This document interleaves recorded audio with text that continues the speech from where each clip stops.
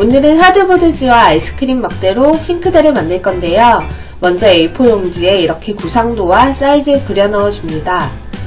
그리고 하드보드지에다가 아까 그려 놓은 사이즈대로 그려주세요. 칼로 깔끔하게 잘라주시고요.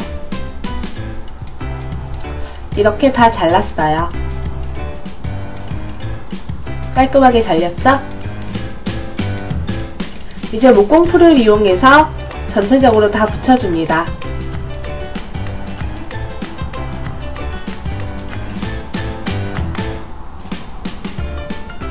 목공풀이 튀어나왔을 때는 이렇게 휴지로 쓱쓱 닦아서 단단하게 붙여주세요.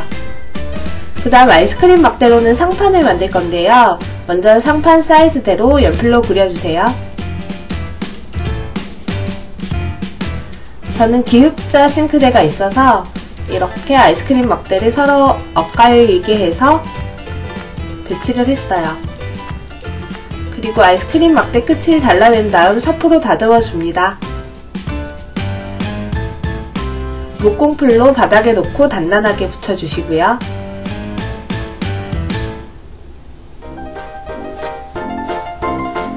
다 붙여주셨으면 이제 면을 고르게 만드는 작업을 할 텐데요. 사포로 갈라지지 않게 조심하면서 평평하게 만들어줍니다. 윗면도 다듬어 주시고요.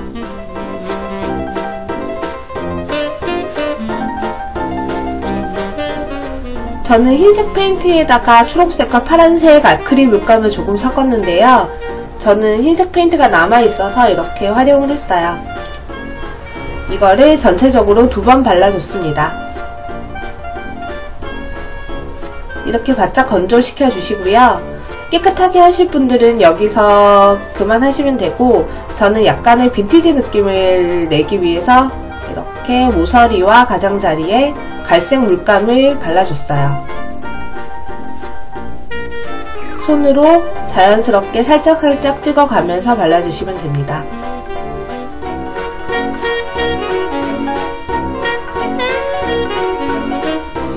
이렇게 다 발라줬어요.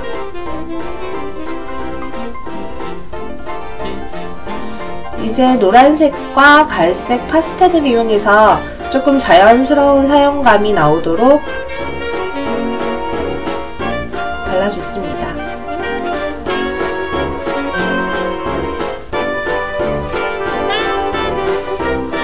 어, 상판은 이렇게 모서리를 사포로 약간 둥글게 만들어줬어요. 여기다가 스테인을 발라줄 건데요. 어, 스테인은 물을 조금 많이 섞어서 연하게 한 번 발라줬습니다. 그 다음 손잡이와 경첩을 붙일 텐데요. 손잡이는 폴리머 클레이를 이용해서 만들었어요. 손잡이 만드는 건 다음에 올려드릴게요.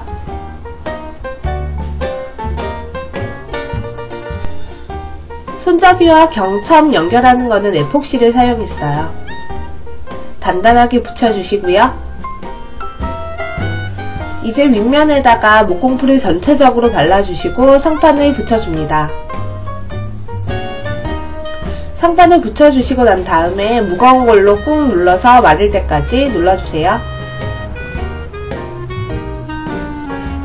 이제 손잡이에다가 어, 갈색 파스텔을 이용해서 조금 떼탄 듯한 그런 모양을 만들어냈어요.